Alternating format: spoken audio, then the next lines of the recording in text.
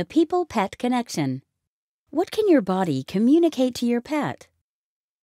Visual communication through body language is one of the main ways that dogs and cats communicate.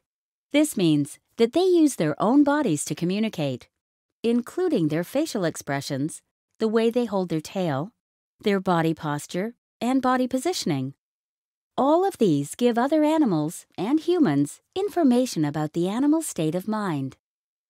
It is important to remember that animals use these same observation skills with their people. They watch your body language to get information about you.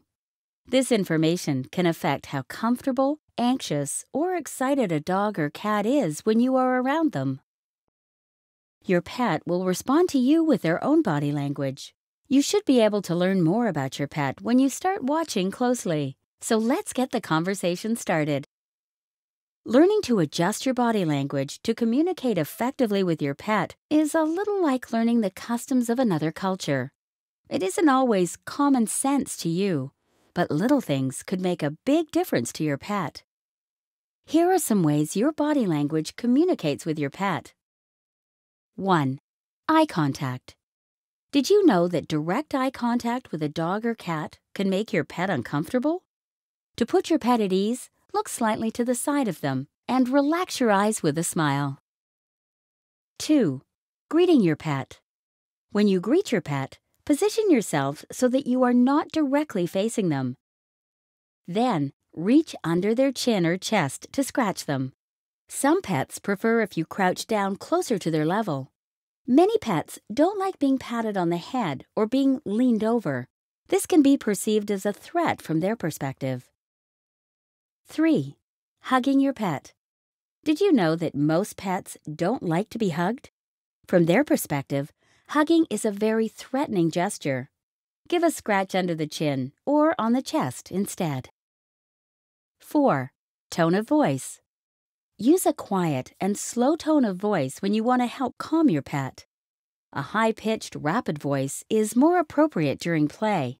Avoid speaking in a deep, stern voice or scolding your dog or cat.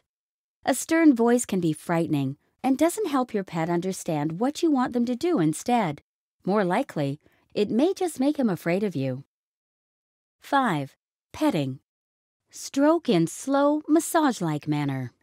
Some dogs like to be petted with slow circular motions around the neck and shoulders. Other dogs like being petted with long, slow strokes from head to tail. Cats tend to like being scratched and rubbed around the head and cheeks. Slow motions tend to be more calming than rapid petting or up and down patting motions. In general, if you move more slowly, your pet will also move more slowly and calmly. If you move quickly, so will they. 6. Your clothing. Remember that your clothing counts as part of your body and can also affect your interactions with your pets.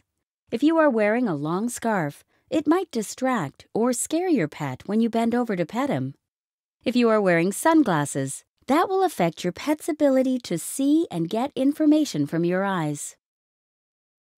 Ultimately, all dogs and cats are different and have a different relationship with their people. What one pet finds comfortable, another might not. It is your job to start watching your pet's body language and monitoring your own.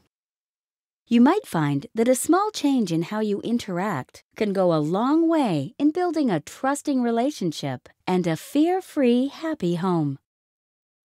Learn more about what your pet is communicating to you by watching the Fear Free Happy Homes dog and cat body language videos.